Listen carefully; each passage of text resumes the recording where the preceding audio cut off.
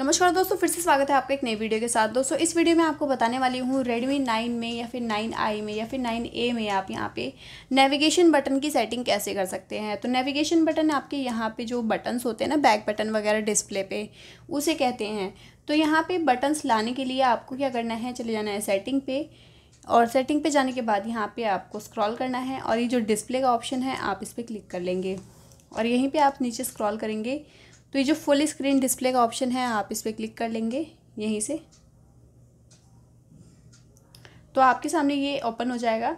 तो यहाँ पे आपको ये जो बटन वाला सेक्शन है, आप इस पर क्लिक कर देंगे। तो ये बटन पे क्लिक करने के बाद क्या होता है कि ये जो बटन्स हैं, आपके यहाँ तो आ जाते हैं, लेकिन बाई चांस आपका यहाँ से ये बंद है। तो आपका बटन यहाँ पे थोड़ा सा गड़बड़ हो जाता है। ये लेफ्टीज के लिए होता है। कुछ लोग लेफ़्ट से यूज़ करना चाहते हैं या फिर उनका एक ही हाथ काम करता है ढंग से तो वो ये यूज़ कर सकते हैं। लेफ़्ट बटन आपका इस साइड आ जाता है।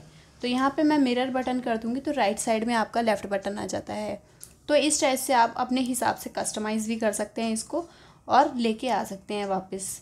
तो इस टाइप से आप यहाँ पे नेविगेशन बटन की सेटिंग कर सकते हैं। तो आई होप गाइस ये वीडियो आपको ज़रूर पसंद आया होगा। इसी टाइप की और भी इंटरेस्टिंग वीडियोस देखने के लिए चैनल पर विज़िट करते रहिएगा। चलिए मिलते हैं आपको एक नेक्स्ट वीडियो में। तब तक के लिए नमस्कार।